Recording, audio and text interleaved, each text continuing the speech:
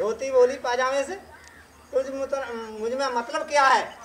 तू खुलती है पीछे तो मैं खुलता हूँ आगे से। धोती पीछे से ही खुलती है।